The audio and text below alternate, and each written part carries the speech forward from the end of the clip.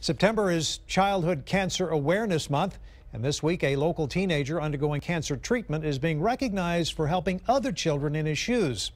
KXAN's Erin Cargile is live in Cedar Park with this story under the Friday night lights.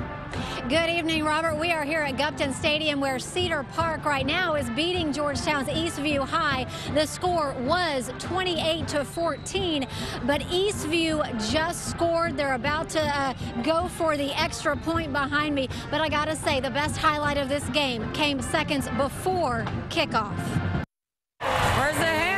Where's the it's the fourth game of the season. Cedar Park hoping to go all the way to state for the second year in a row. Get some! One of their biggest fans showing up early. All right.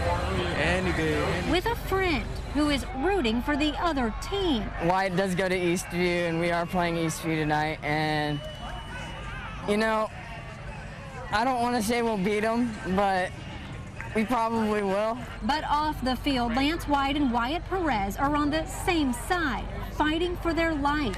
I have two brain tumors, uh, germinomas, and they're really rare. And to have two of them is actually even more rare. Acute lymphoblastic leukemia, and it's tough getting that through your head once you hear it. On this night, they are getting to experience something else together, an up-close look at the coin toss to help educate fans about childhood cancer. Side by side, they will continue to be one of each other's biggest cheerleaders. We've been there for each other, understanding what we've been going through. I'm blessed that he's alive right now and he's doing well and he's getting better. And the score now here at this game, Cedar Park versus Georgetown's Eastview High. Cedar Park leading 28 to 20. Eastview is about to either go for a field goal or a two-point conversion, not too sure. But I do have to tell you that Lance and Wyatt have prime seating tonight. They are watching all of this from the press box in the AC. And from this point forward, we're going to be cheering those two on. Robert, we're live in Cedar Park tonight. Erin Cargile, KXAN News. Great story, Erin. Well, Lance White was actually diagnosed with cancer two years ago this month.